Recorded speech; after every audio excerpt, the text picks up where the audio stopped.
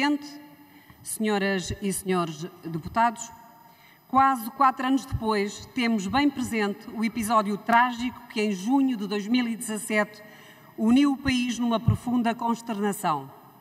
Muitos quiseram ajudar, muitos quiseram tentar atenuar as perdas dos que foram afetados por estes incêndios e, por isso, os donativos e os apoios multiplicaram-se. Aliás, foi este o tema, e só este, o tema da Comissão de Inquérito: os apoios.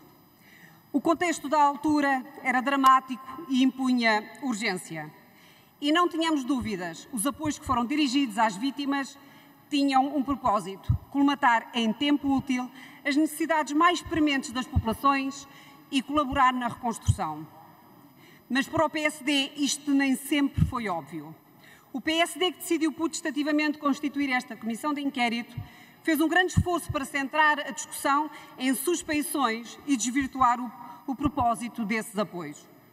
O PSD escolheu centrar a discussão numa, e cito, aparente irregularidade do processo que envolve a atribuição de apoios. É de dizer que a, a tentativa do PSD foi frustrada. Aqui chegados, ao momento em que a Assembleia da República reúne para apreciar o relatório final deste inquérito, podemos ver que este relatório não faz prova de qualquer aparente irregularidade.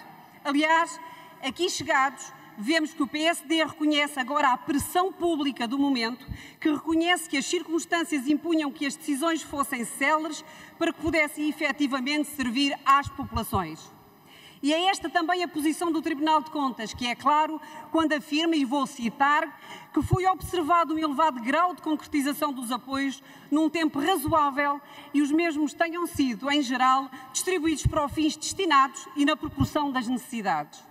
Foi esta urgência e necessidade de garantir eficácia, rapidez e justiça na questão dos donativos que levaram o Governo a criar o Fundo Revita um fundo de cariz social que permitiu agilizar o processo e que beneficiou da proximidade entre as autarquias locais e as famílias e que foi particularmente importante na reconstrução das habitações atingidas e também nos recursos agrícolas de autossubsistência. Isto acabou também por ser reconhecido pelo PSD, que descreve o Revita como, e volto a citar, uma solução oportuna de centralização e operacionalização do elevado montante de donativos a gerir, oriundos de diversas fontes e com várias formas e aplicabilidade, que observou vários dos princípios e recomendações internacionais e que permitiu evitar duplicação de apoios. Mas o trabalho desta comissão de inquérito serviu ainda para concluir que a resposta foi eficiente nos apoios à atividade económica e também se cita novamente: as empresas receberam os apoios necessários para retomar a sua atividade com alguma celeridade, não tendo sido colocados em causa os postos de trabalho existentes. Concluiu-se também que a resposta foi plena em relação aos equipamentos e infraestruturas municipais e isso foi testemunhado pelos autarcas.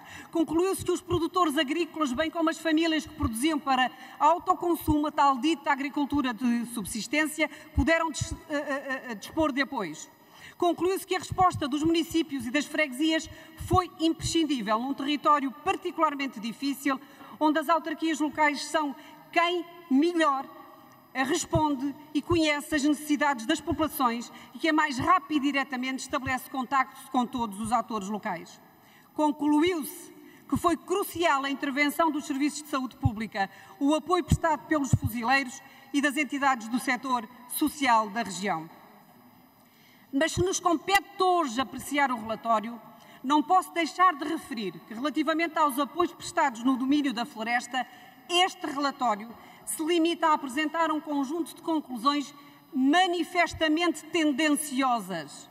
O relatório minimiza o esforço do Governo na resposta e a intervenção permanente e interrupta do Estado no setor florestal, ignorando, nomeadamente, os programas Pessoas Seguras, aldeias seguras e todas as medidas subsequentes com enfoque no reforço do nível de proteção de pessoas e bens.